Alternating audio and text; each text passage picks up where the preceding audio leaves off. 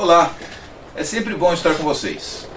Eu gostaria hoje de esclarecer uma dúvida dos nossos clientes e de, do público em geral a respeito de alguns itens da nova reforma trabalhista.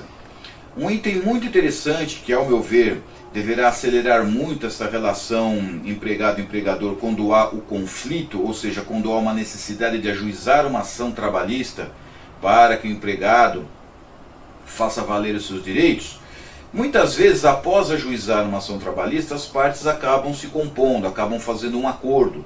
E muitas vezes esse acordo, ou como é a, a regra do, do, do, processo trabalhista hoje, esse acordo ele sempre é feito muitas vezes numa audiência de conciliação, ou até mesmo numa audiência de instrução.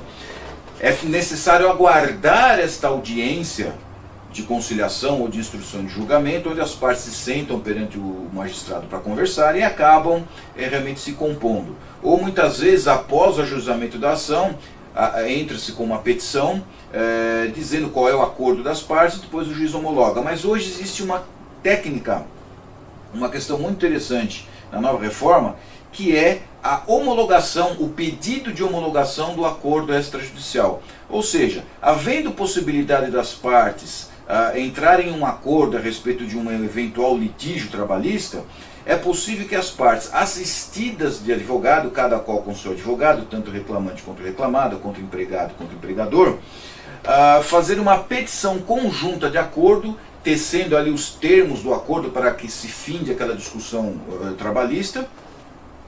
Essa petição é protocolizada na Justiça do Trabalho e, segundo a lei, o juiz tem 15 dias para homologar o acordo. Caso o juiz não homologue o acordo, evidentemente ele pode marcar uma audiência próxima, em data próxima, para conversar com as partes caso surja alguma, alguma dúvida em relação a algum termo do acordo que o juiz tenha.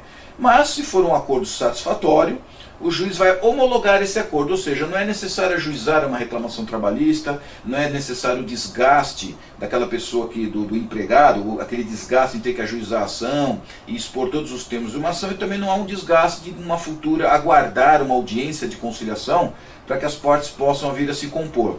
É um procedimento que eu acredito que trará maior celeridade e ajuda as partes a se conciliem. Eu acho que é um instrumento muito importante e que já é possível se fazer isso então. É uma petição de pedido de eh, homologação do acordo extrajudicial que as partes chegaram antes mesmo de ajuizar a ação trabalhista. Se vocês tiverem alguma dúvida, entre em contato conosco, será um prazer ajudá-los nessas questões.